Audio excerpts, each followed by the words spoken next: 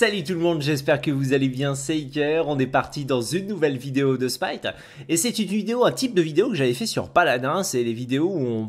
c'est pas des dans la tête d'un pro parce que c'est pas des ranked, mais on regarde un pro jouer un nouveau personnage qui vient de sortir, parce qu'au début, bah, il n'est pas euh, jouable en, en, ranked, donc on peut attendre très longtemps pour l'avoir, donc je me suis dit que ça pouvait être intéressant euh, de regarder un gameplay de Zappan directement sur le replay de son stream, puisque vous, vous le savez peut-être, mais on peut pas replay une casu, à moins quelqu'un qui les spectate. Donc euh, voilà voilou. On va regarder un petit peu euh, ici. Ishtar. Ishtar, c'est la nouvelle déesse de Smite. On notera que Zapman commence capuche et le rang 1 de la transcendance. Zapman est quelqu'un qui fait soit transcendance et parfois domination en premier item, donc on verra lequel des deux il préfère. Au niveau du spell, on a pris le 1 pour pouvoir faire le 1-1 qui permet d'envoyer une flèche de zone qui permet de clean la jungle assez rapidement avec son support. Au niveau de la relique, c'est une purification. Et au niveau du match-up, c'est Ishtar Terra contre Ymir euh, Rama. On a la main des dieux qui est utilisée par Terra, bien sûr. On récupère le purple du côté de Zap Zap. Et on retourne sur, on arrive sur la lane. Vous le voyez, ils arrivent un tout petit peu plus tôt. Il arrive à mettre une lane. Il met son auto-attaque de zone. Il essaye de tuer au les mêlées. Et il commence à taper les archers. Donc euh, la phase de lane, elle est globalement gagnée. Enfin, la transition level 2 est principalement gagnée parce que Zapman arrive un tout petit peu plus tôt. Peut-être qu'Ymir n'avait pas pris de main des dieux parce que c'est Ymir et qu'il se dit qu'il a suffisamment de dépush avec son 2 pour ne pas en avoir besoin et son, et son passif. Là, regardez, vous voyez le respect que je vous dis tout le temps d'avoir. C'est-à-dire que là, il ne pouvait pas mettre une auto de plus sur les sbires. Là, les sbires vont être assez low life grâce à Terra. Il dash à travers pour les finir pour ainsi prendre aucun dégât et il met les autos sur Anur. Ensuite, il active son 2-2 parce que c'est beaucoup plus facile de mettre des dégâts. Et puis, on peut toucher deux zones et voilà. Là, les sbires arrivent. Le Hanur Jump pour essayer de, mettre des dégâts sur Terra. Le 2 qui touche, là, c'était bien joué. La Terra qui est allée balancer son combo. Et on va essayer d'aller chercher les dégâts du côté de Zapman. Oh, très bonne coquille de Ymir. Euh, qui euh, met la coquille au moment où Zapman lui veut essayer de finir avec son ulti. Il utilise la purif pour pas prendre le knock-up et le knockback. Knockback, knock-up, ouais, c'est un peu euh, l'un des deux. C'est un hybride, c'est un knock-up, on va dire, qui vous repousse. et il tombe, bien joué de la part du Hanur. Voilà, il avait bien joué Zapman, même s'il a été un peu présomptueux parce qu'il a pris l'agro des sbires. Mais vous voyez que mécaniquement, le duel est assez équilibré. Euh, est quand même mort, tué des sbires. Et vous avez vu donc l'utilisation du du, euh, dash pour essayer de tuer en fait, hein, euh, du côté de Zapman pour essayer de faire le backflip. Euh, le backflip de Ishtar vous permet par exemple de passer à travers un Woldimir ou vous, ou passez à travers un mur d'Odin. C'est tout à fait possible. Il faut que le Odin soit. Si Odin vient de mettre la cage et que vous dashez dessus, quelqu'un m'a dit Iker, on en sort directement. Donc même si le Odin est au milieu de sa cage, ça réussit à vous permettre de vous barrer. Donc c'est quand même un, un, sort très puissant le dash de d'Ishtar. On est level 3, on prend un point dans le 2. Donc on a fait 1, 3, 2, on le rappelle. Euh, le 2 est un sort un peu à chier en termes de dégâts. Mais intéressant dans le sens où si vous touchez euh, deux personnes, donc là pour le moment il le lance euh, vers l'ennemi, vers lui. on verra dans quel s'il l'utilise tout le temps comme ça, parce que c'est bah, bien évidemment si, si l'adversaire est loin, c'est plus pertinent de le balancer loin tout de suite pour essayer de toucher. On met une petite auto-attaque sur la et ensuite on respecte. Là, on remet le Mesmerize. Là, vous avez vu d'ailleurs, euh, quand il y a eu le Hanur qui a sauté euh, violemment sur la Terra, c'était très intelligent parce qu'en fait, euh, les sbires allaient mourir et donc ils pouvaient se permettre d'aggro. Parce que en fait, vos sbires vous servent un petit peu de bouclier. Le dash sur le Hanur, paf, on place le route, le deuxième route de Terra, le jump out, on met le Mesmerize et on réussit à prendre le kill derrière. Vous avez vu, l'Hanur a repoussé, mais un tout petit peu trop tard, l'auto-attaque de Zapman était déjà partie. Euh, le fait de repousser du côté d'Anur, à mon avis, l'Impel cancel votre dash. À peu près tout cancel votre dash. Hein. Ymir peut, le cancel avec son freeze par exemple. Euh, on l'avait vu euh, durant l'entraînement à la jungle. Et donc là, vous voyez, on essaie de faire l'élastite en splittant un petit peu les sbires. On tape plusieurs fois sur ce qui n'est pas tapé par les autres. Et on essaie de mettre des dégâts. Il s'est un petit peu raté dans son skill order. J'ai fait mon travail, euh, j'ai été très consciencieux et professionnel. J'ai bien évidemment regardé la vidéo avant. En fait, il veut pas mettre deux points dans le 2, mais il se rate. Donc, comme quoi, ça arrive même au meilleur. Hein. Triple champion du monde de Smite. Euh, et il a pas, il a pas skill order le bon truc. Donc là, le Mesmerize qui est passé, l'ultimate. Le, le, l'ultimate. on rappelle l'ultimate. À l'aller, ça cripple. Donc si vous touchez l'adversaire, ça cripple pendant 1,5 secondes. Et au retour, ça stun. S'il a déjà été au préalablement touché à l'aller. Là, on réussit last hit. On va directement. Hop. On met le 1-1. Le 1-1 qui vous permet de dépush tranquillement. On le voit bien. Hop, paf, paf, paf. Et on va utiliser. Donc au niveau des starters, bah, il y avait soit Mannequin, soit Prix de la Mort, soit Capuche. En ce moment, on est quand même dans une mode du sacré retour de la capuche qui donne un gros stéroïde de vitesse d'attaque en late game, qui est très très bon, qui fait que vous pouvez vous permettre de ne pas obligé d'acheter l'objet de lifestyle.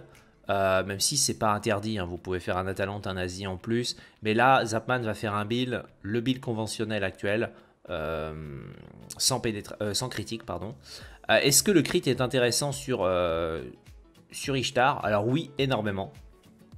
Puisque le, 3 peut crit. Donc moi je m'amuse à faire un build que je vous conseille d'essayer qui est capuche, transcendance, capuche, transcendance, réussite, démon du vent, condamnateur Sylvargent. Euh, il vous fout une Kuzari de Shogun, etc. Mais vous aurez euh, vraiment un dash qui fait, euh, qui fait 1000 de dégâts en late. Enfin, peut-être pas. 500, 600 de dégâts sur un carry en late, ce qui est quand même assez rigolo. et, et, pour contrer les assassins, tout ça, tout ça. C'est pas forcément un build conventionnel, mais au moins avec la réussite, la pénétration de la réussite, la pénétration du demande du vent, la pénétration du silver argent, vous serez à 40% très très vite. Euh, et ça vous permet bah, d'avoir euh, une euh, Ishtar compétence. quoi. Et avec la réussite, vous aurez vos 20% de CDR, vous aurez votre combo qui reviendra toutes les 2 secondes. Moi je vous conseille d'ailleurs le condamnateur malicieux dans ce genre de cas pour avoir vraiment votre dash toutes les 3 secondes hein, dans un teamfight. Ça fait que vous l'aurez vraiment, si vous auto-attaquez quelqu'un, vous l'aurez toutes les 3-4 secondes, votre, votre, votre dash, c'est assez rigolo. Le dash est vraiment un sort qui est très intéressant. Donc là, il met le Mesmerize. Ensuite, il active le 2-2. Il lance l'ulti et il dash dessus. Voilà, donc euh, Bobman devait avoir utilisé son saut, je suppose, parce qu'il pouvait pas se barrer. Donc euh, c'est très présomptueux d'utiliser son saut. Hein. Moi, je vous déconseille d'utiliser votre saut contre une Ishtar. Il, faut que vous le gardiez pour vous barrer. Euh, alors vous me direz oui, mais il a utilisé. si tu t'es fait toucher par l'ulti, tu peux pas sauter avec Anur. Ouais, il faut beats d'abord, ensuite sauter ensuite. Euh, ou alors sauter vraiment quand tu vois le début de l'animation de l'ulti, tu as largement le temps de sauter si tu as de mon réflexe, enfin si tu as de mon réflexe, hein. c'est pas trop vieux. Et vous voyez, il max le 3 en premier. Donc le 3, c'est vraiment dans l'idée de PVP. Je sais pas si ça sera forcément utilisé par les pros, mais c'est dans l'idée de, de, pouvoir vraiment être très très très très bon en teamfight. Euh, pas en teamfight, en 1 contre 1 plutôt. Je dis des conneries. Désolé, un peu la fatigue en ce moment il refait chaud. Il refait chaud, c'est il fait de nouveau chaud dans l'appart, donc c'est chaud. Euh, hop, on met le 2, tac, on clean, et on a notre transcendance. Donc la transcendance, pourquoi? Ishtar est un personnage assez manavant malgré tout, puisqu'elle peut euh, souvent lancer ses spells. Hein, euh, voilà, le, le 1-1 qui donne un buff pendant 5 secondes sur une auto-attaque qui change un petit peu qui change votre auto-attaque. Vous avez le 2, voilà. Ça coûte assez cher en mana. Donc une transcendance c'est très très bien, de toute façon une transcendance c'est bien à peu près sur tous les personnages. Ça permet de scale puisque Ishtar a pas une auto, elle a une auto attaque qui fait à peu près, qui fait exactement les mêmes dégâts que Nice. Elle a le même scaling que Nice et Nice est considéré comme un ADC plutôt early mid game. Euh, nice est beaucoup plus early qu'Ishtar puisqu'elle a beaucoup plus de dépush tout de suite. Alors que Ishtar elle galère un peu au début. Là on voit entre Anur et, Ishtar euh, c'est assez, euh, assez équilibré il claque l'ulti, il le cripple, l'aller-retour, l'ulti, il déserte Fury, la coquille de Ymir qui arrive au bon moment, et Bobman saute in et prend le kill. Très bien joué. Là, vous avez vu, le, match-up est loin d'être simple. Anur, de toute façon, ça reste l'un des meilleurs personnages en 1 contre 1 du jeu, en termes d'ADC. Donc, euh, forcément, euh, c'est pas si simple que ça de tuer un Anur. Euh, je trouve qu'il a bien joué. Mais il y a pas mal de choses. Il faut vraiment, en fait, quand vous jouez contre une Ishtar, il faut connaître le personnage parce que il faut que vous sachiez ce qu'elle a tendance à faire, connaître le kit de sort pour pouvoir le maîtriser. Parce que vu que c'est un personnage qui est assez fort en duel, bah si vous savez pas ce qu'elle fait, c'est vrai que vous avez l'impression qu'elle est OP. Si vous savez ce qu'elle euh, ce qu'elle peut faire, vous pouvez un petit peu la contrer. Par exemple, à la fin de l'ulti, vous pouvez euh, considérer que vous avez une frame ou vous pouvez pale. Vous attendez la fin. Si elle vous a impale et qu'elle vous a touché, allez. Et bah, vous la repoussez avec votre, votre, votre 2 de, d'annure. Je ne sais pas ce qu'elle est capable de faire à ce moment-là. Elle va vous faire revenir, elle va vous stun une seconde. Mais c'est tout quoi. Et vu que vous l'avez projeté tellement loin, elle peut plus se servir de son dash. Donc je pense que vraiment une des bonnes techniques, c'est qu'à la fin de son ulti avec mur, paf, vous lui mettez l'impale.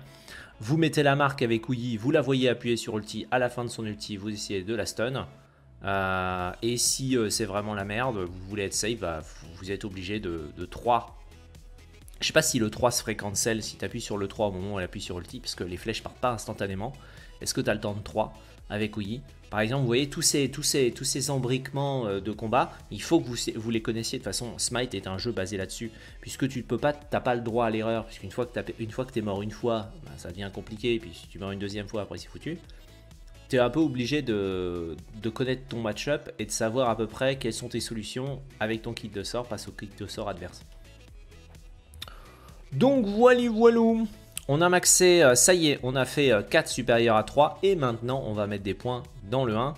Euh, le 1 pour le 1-2, le 1 pour le 1-3, parce que le 1-1 sert principalement pour clean the lane. Hein. Le... Après, on va plus trop, plus trop s'y attarder même si la petite auto-attaque fait 156. Il claque l'ulti, il met le Desert Fury en réponse, il prend le stun, il saute sur place Bobman. il a sauté sur place. Il aurait dû essayer de sauter sur Zapman, mais je pense qu'il a sauté sur place parce qu'il a voulu sauter très très vite. On voit qu'ils essayent l'un contre un, c'est assez serré quand même hein, malgré tout. Vous voyez à quel point ça reste un bon dueliste. Je pense, compte tenu du fait que c'est de la casu, que Zapman est un meilleur joueur, qu'un est supposé gagner. Là, on voit, il gagne de tellement peu avec sa que je pense qu'un un Anur, enfin Zapman contre Zapman, je pense que ça serait l'Anur de Zapman qui gagnerait. Donc euh, Anur est un, ça prouve encore à quel point l'un des plus vieux dieux de Smite, parce que c'est très vieux Anur. Perso, il est sorti sans doute en 2013 ou 2014. Hum, et bah, est un incroyable dueliste. C'est un très très bon personnage. C'est un de mes ADC préférés même si c'est très mécanique, donc c'est pas un personnage facile à jouer. En fait, vous avez euh, un kit de sort avec Anur qui est tellement polyvalent. Pour un vieux truc comme ça, son seul défaut, c'est qu'il n'ait pas de stéroïde de vitesse d'attaque. Mais pour un vieux personnage comme ça, qui date de, plus, de plus de 8 ans, tu peux quand même te dire que le perso... Là, on met le 2-2, c'est pour clean les camps très rapidement, ça va être compliqué, on se barre dans l'autre sens, il faut essayer de récupérer le dash, c'est un dash de, de 30 mètres de portée. Ktera a claqué son ulti, on essaye de mettre des dégâts pour aller tuer le tir. Le Dashin sur le Ymir. Quelques petites autos. La Terra, le double freeze de Ymir. Mais c'est bon. Tout le monde s'en sortira tranquille. L'ulti, l'aller-retour et boum. Voilà, ça c'est... C'est méconnaissance du personnage. Méconnaissance du personnage, très clairement, c'est un kill qui n'arriverait pas euh, dans quelques mois. Euh, parce que bon, euh, c'est pas non plus trop dur. Hein. Il a juste il a, fait semblant de se barrer, il est revenu, il appuyé sur ulti, tir n'a pas bougé pendant le truc, il n'a pas le temps. Euh, c'est un peu comme euh, se prendre un ulti Médusa dans la gueule parce que la Médusa s'est retournée. Quoi. Ça, ça, me fait penser un peu à ça, ce ulti. Donc, euh, moi je pense que c'est des kills qui, qui disparaîtront. Je sais pas si elle mérite un nerf, vous me direz en commentaire. Peut-être un nerf du 3. mais le problème, c'est ouais. Pour moi, le skill order qui devrait être mérité, ça serait 1 supérieur à 3. Euh, mais pas 3 directement. 3, ça veut dire que le 3 est trop fort. Parce que c'est pas un sort pour des push. C'est vraiment un sort pour PVP. Donc je dirais que ça serait bien de nerfer le 3 un petit peu. Je pense qu'il va l'être. Il hein. Après, euh, vous me direz, oui, mais il faudrait qu'ils enlèvent la, capacité de crit du 3. Ah, mais merde, il va partir sur un build crit, vu qu'il a fait le début du démon du vent. Alors, parce qu'il a fait plein de builds. Il a fait le build aussi euh, full vitesse d'attaque, donc capuche, transcendance. Ulysse, Sylvargent, Exécuteur. un truc comme ça. Oh, ça, ça va être chaud. Le bon vieux move d'Anubis. Anubis qui joue Flash. Donc il l'a bien jambonné. Euh, et là, il regarde, il fait Ah, oui, d'accord, j'avais pas vu que Anubis euh, jouait Flash. Je me suis fait euh, jambonner par un Flash Anubis. Anubis, c'est pour moi, quand on veut gagner avec Anubis, il faut un Flash. C'est comme Zonkui, euh, si, sinon le, personnage euh, perd complètement de sa superbe. Je parle vraiment dans une notion de solo queue, parce qu'en team, bien évidemment, un Flash Anubis c'est beaucoup moins fort. Mais si tu es en solo queue, euh, si tu es en ranked, solo duo, le Flash est, mandatory. vraiment, ça permet à Anubis d'aller piéger des gens, parce que Anubis c'est tellement fort en piège. Très clairement, un personnage qui se prend un Mumify, euh, un Mumify au corps à corps et qu'il se prend ensuite le 3 ulti, euh, je vois pas comment il survit. Hein. Même si c'est Anur, en fait il saute, mais après au moment où il retombe, il est encore dans l'ulti Anubis. L'ulti Anubis a trop de portée. Donc là on a Ravana face à... Et Bobman qui prend le double kill Alors comment il va le tuer, l'ulti? Oh ouais, quand même une sacrée portée l'ulti. Hein. Je pensais pas que l'ulti serait bon là. Mais l'ulti est trop fort. Ouais, l'ulti a peut-être trop de portée. Moi, je pense qu'un 55 de portée aurait été bien, mais il a l'air d'avoir plus. Je sais plus si c'est 70, un truc comme ça. Beaucoup de portée dans l'ulti, ce qui fait que là, c'était pas non plus le kill le plus difficile de la Terre. Donc il a fait Démon du Vent et il a fait l'exécuteur en deuxième, donc il fera l'exécuteur féroce.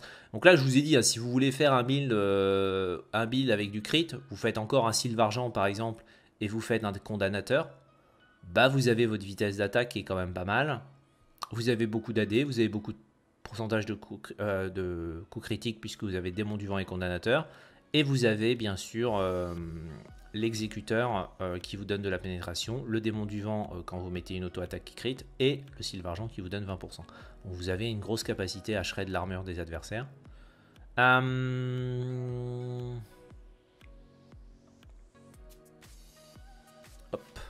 Donc là, on fait les camps, hein, on va pas expliquer les rotations. Il vient, il check s'il y a des midar de gauche, mais elles ont été faites. Et il retourne sur sa lane. Donc là, il est level 16 face à Anur qui est 13. Donc là, le match-up n'a plus lieu d'être. Hein, le 1 contre 1 n'a plus lieu d'être. Zapman va écraser le Anur. Dès que vous avez deux levels de moins que votre ADC, euh, que l'ADC en face, il ne faut plus le fight. Ce n'est plus possible, vous ne gagnerez plus. Donc, euh, enfin, sauf s'il fait une énorme erreur et que vous êtes en. Et il y a quelqu'un qui vient vous aider, mais en 1 contre 1 pur, ça deviendra très très compliqué. Lanur essaye de défendre, Desert Fury, le Dashin, le saut sur place encore que... Ouais, Bobman, faut pas sauter sur place, non. Alors oui, il était encore pas très loin de le buter, mais il respecte pas le level de retard. Et euh, donc, euh, donc il se fait jambonner. Et ça donne le septième kill pour Zap Zap. Encore s'il saute dessus, il fait des dégâts. Mais bon, c'est pas ce que vous avez maxé hein, sur Anur. Anur, on fait un bon vieux 4 supérieur à 2, supérieur à 1, supérieur à 3 en général. Et il part sur condamnateur directement, donc il va faire un build de crit. Ah, je, croyais qu'il faisait, euh, désolé, euh, je croyais qu'il faisait le build, euh, le full sans crit. Mais moi je trouve que le build crit est plus intéressant hein, sur Ishtar, juste parce que le, 3 quand il crit c'est rigolo. Et moi j'aime bien le build avec triple crit, où je remplace l'exécuteur par la réussite. Parce que comme ça je suis quasiment garanti de crit à coup sûr avec mon 3 avec deux objets, malheureusement, euh, bah c'est 50, 50, je sais pas, vous montez à 55% ou 60%, quelque chose comme ça. Ah, le dash sur la l'arture, le tir. Le tir qui tank plus. Euh, là, là, on est sur un snowball beaucoup trop violent. Euh, L'ADC est 18. C'est là qu'ADC, c'est rigolo à jouer. C'est quand tu as réussi à snowball autant. Parce que là, le tir level 13, qu'est-ce que vous, qu'est-ce que voulez qu'il fasse contre une Ishtar 18 c'est euh, ça, c'est vraiment. Euh, je l'ai expliqué en stream hier soir. Beaucoup de gens disent ouais, mais il faut jamais sur N parce qu'on peut revenir, etc., etc. Mais en fait, là, ils sont tellement derrière que plus tu montes en level, moins les gens vont se en fait. Et là, c'est peu probable que Zapman perde. Il a trop d'avance et même son équipe est relativement bien. Tiré 16, Ravana 15, etc. Et qu'en fait, il faut comprendre que la meilleure façon de progresser dans Smite, c'est de comprendre pourquoi l'équipe adverse a gagné déjà. Là, il y a 17 minutes, euh, il y a 5000, euh, 5300 euh, gold d'écart. Et en fait, ce n'est pas en continuant la game comme des warriors en espérant revenir et ça arrivera une game sur 10. C'est en comprenant pourquoi vous êtes fait snowball et de et de pas se faire snowball. Parce que le MOBA n'est pas un jeu fair play. C'est un jeu où si tu as pris 3 levels d'avance, bah tu joues contre un dieu et toi tu es un pauvre humain ridicule. Donc, euh, donc voilà, c'était juste pour expliquer ça, parce que c'est vrai qu'il y a beaucoup de F7 Warriors, mais les F7 Warriors me font beaucoup rire quand, ils ont 4 levels de moins que leur adversaire, je vois pas comment ils veulent gagner. Dans un jeu comme CS ou Valorant, c'est faisable, et encore, euh, on sait très bien qu'il y a une économie dans CS et Valorant, donc euh, tu vas être obligé de perdre 3 à 4 rounds, je crois que c'est, je sais plus, les joueurs CS et Valorant me diront, peut-être 2 ou 3 rounds d'affilée parce que tu es en écho, tu dépenses pas d'argent au début, donc tu es au pistolet et tu es face à des gens qui ont quasiment tous un gun, un gun incroyable. Et donc en général, on va faire plusieurs rounds d'écho pour être de nouveau à égalité. Sauf que dans un MOBA, on n'est jamais plus à égalité. Il faut attendre 30 minutes pour que, il faut attendre 25 minutes pour que tout le monde soit level 20. Et il faut attendre 45 minutes ou 50 minutes pour que tout le monde soit à stuff égal. Donc là, on joue défensif, tac, on met le 1, 3. On prend cher du côté de Zapman, il y a eu une bonne coquille, on recule. Là, vous voyez les frontliners, hein, Terra et Terra et, et Tyr qui aident beaucoup.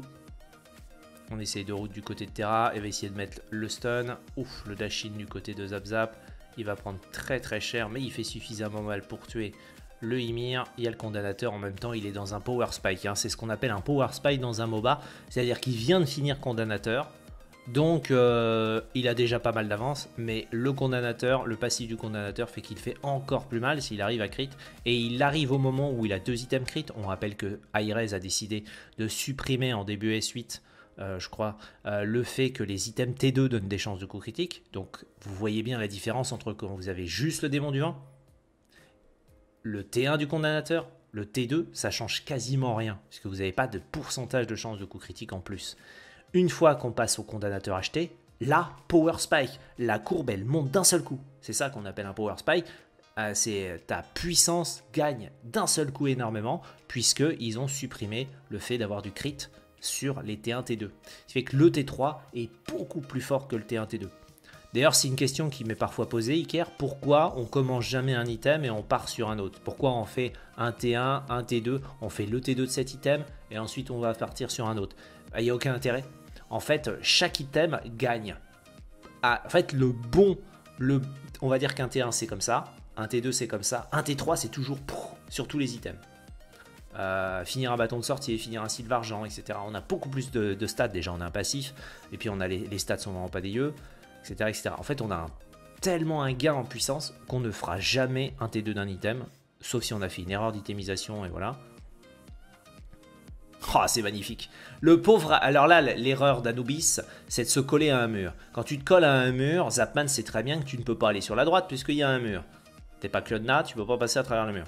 Donc en fait, Zapman avait une grosse facilité à auto-attaque l'Anubis. Parce qu'il l'Anubis, il partait sur la droite, il était dans un mur, et sur la gauche, il avait la tour.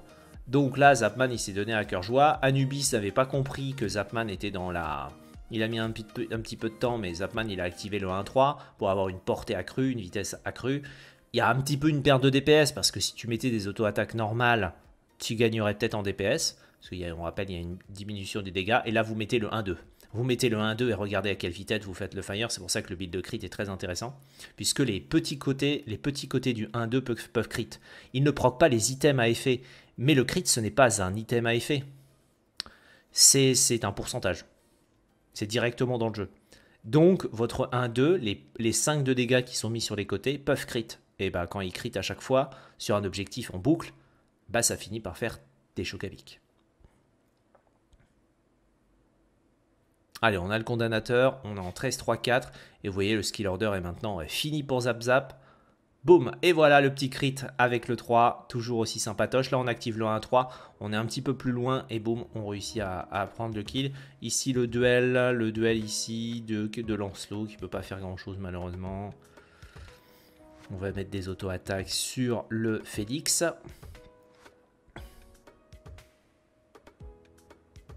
Là, on met le 1-3. Met des auto-attaques, il sait qu'il n'a pas l'agro, il active le 3. Alors là, vous pouvez carrément faire le 3 sur Ymir euh, si vous pensez que ça va pas exploser à temps. Et je crois qu'après le backflip, vous sortirez du, sort de Ymir. Ça serait logique si vous sortez du, sort d'Odin. Bon bah c'est gagné en 23 minutes 10 C'était histoire de vous faire voilà une petite... Euh, un petit, un petit comeback sur un petit retour sur... sur euh, donc là il aurait fini par quoi? Sylvargent sans doute? Argent, vous voyez, il a fini la capuche. On finit toujours, 9 fois sur 10, on finit la capuche. Euh, pour, pourquoi on finit la capuche? Parce que ça coûte pas très cher. On a déjà le T1. Et en fait, on va acheter le T3 direct. On peut considérer qu'on passe de T1 à T3 sur les objets de démarrage. Parce que tellement l'objet est fort. Euh, même s'il n'y a pas de T2, donc c'est un peu illogique mathématiquement de dire on passe d'un T1 à T3, mais voilà. Vous comprenez la logique derrière. Donc c'est pour ça qu'on le fait tout de suite. Voilà. Est-ce que Zapman va regarder son, score, Ça va être intéressant de voir. Et vous voyez, 35 000 de dégâts. Donc assez incroyable du cul. Je trouve que Bobman, euh, bon, il finit en 3-10-1, mais il, fait des petites erreurs, mais c'est quand même, à mon avis, un joueur correct. Hein, mais, mais voilà. C'était de toute façon une casu sur le stream de Zapman. Voilà, j'espère que ça vous a fait plaisir de voir une petite Ishtar. Personnage très puissant, euh, qui a une phase de lane correcte, mais qui n'a pas une phase de lane broken, qui est surtout euh, un très bon dueliste 1 vs 1, et il faut que vous vous dépatouillez de son kit de sort avec votre personnage. Anur est un personnage qui peut rivaliser, je trouve, très correctement, Ouyi aussi, euh, aussi, euh, elle peut complètement nullifier, un ulti en appuyant sur son 3 très très vite. faut voir l'ulti partir, mais si vous avez de bons réflexes, vous avez largement le temps d'être dans votre 3 avant que les flèches vous touchent si vous êtes à max range. Euh, voili voilou Voili voilou, je pense. Euh, moi, je vous fais des gros bisous. J'espère que cette vidéo vous a plu. N'hésitez pas à la liker, partager et commenter. Et nous, on se retrouve demain pour une nouvelle vidéo de Smite sur la chaîne. Allez, euh, salut